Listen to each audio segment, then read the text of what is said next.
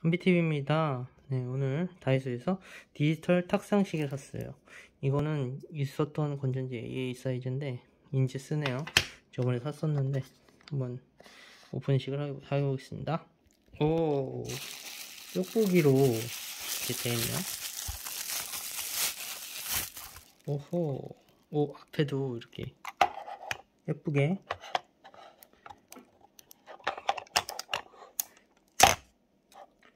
액정망이 있어요.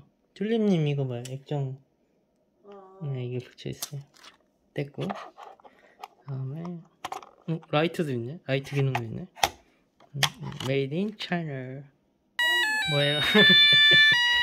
끼자마자 소리가 나네요. 해피니어리네. 어, 이 정도면 뭐 거의 오 처음에 12시 오 괜찮은데요. 이제 제가 알아서 뭐 시간을 맞춰서 잘 써보겠습니다. 오 이거 봐요. 오 괜찮네요. 3,000원인데 있을 건 다 있고 소리까지 나오고 괜찮은 것 같습니다. 세팅 이걸로 맞추면 다 되겠죠. 한비TV였습니다. 감사합니다.